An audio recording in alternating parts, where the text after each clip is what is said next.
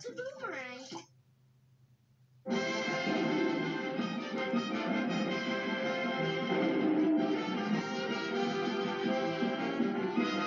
This is the intro of Mouse Trouble.